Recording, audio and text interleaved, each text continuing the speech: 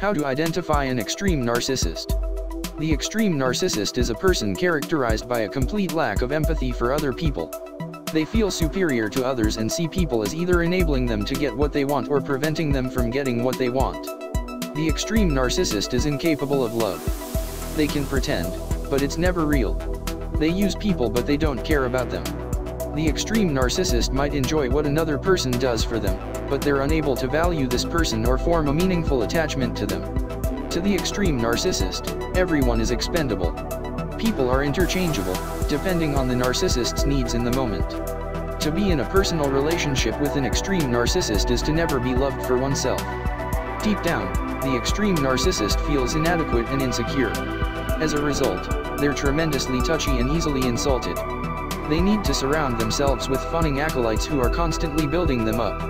The extreme narcissist needs to be admired and adored. They can't tolerate being questioned or challenged.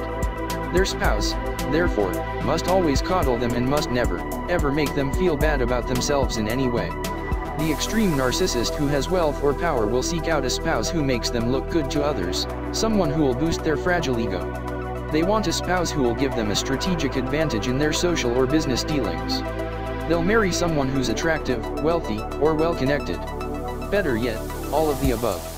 The extreme narcissist tends to go through spouses like they go through any of their other possessions. They'll get what they need from their spouse and then trade them in for a new model, in the same way as people go for an upgrade on a vehicle.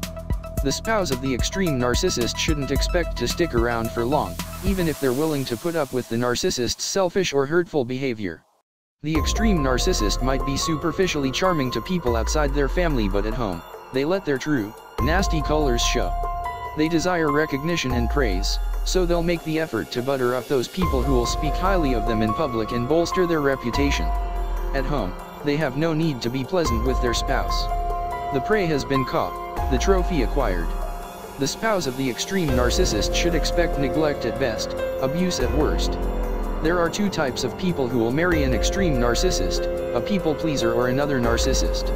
One narcissist will marry another, perhaps even more extreme narcissist, to establish a mutually exploitative and mutually beneficial relationship. Both narcissists understand that there's no love to be found in this arrangement, which is more like a business transaction than a meaningful, intimate connection. Both people are using the other in order to facilitate their own goals. One narcissist will choose to become the spouse of another, more extreme narcissist in order to have a wealthy lifestyle, or more popularity. They desire social status, influence, fame. They'll use the money and connections of their spouse to build their own brand.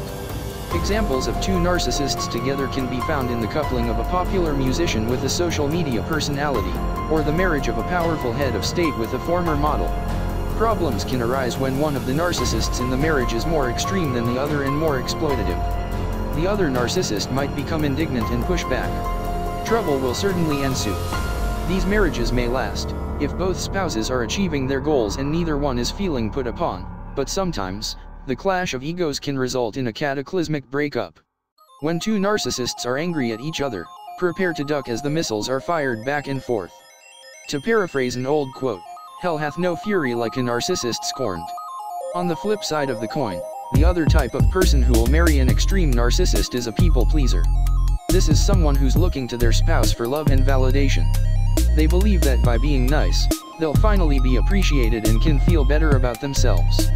Sadly, the people pleaser is attracted to people users, like extreme narcissists.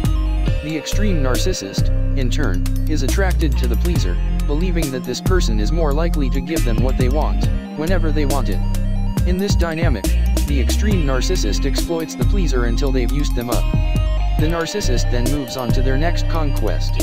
Often, the pleaser gets burnt out, has a mental or physical breakdown or finally gets angry at being so horribly exploited and sues for divorce. These marriages rarely end well for the pleaser, who may never fully recover from their time with the extreme narcissist. The narcissist, however, being far more crafty and unscrupulous, as well as emotionally impervious, will most often escape unscathed. When two narcissists marry, they deserve each other and all bets are off but it's sad to see the tender-hearted people pleaser being so blatantly exploited. If you recognize in yourself any people-pleasing tendencies, be very careful about whom you're attracted to. The last thing you want is to find yourself on family day next year being unhappily married to an extreme narcissist who's incapable of loving you or seeing you for the beautiful and valuable person that you are. About the author.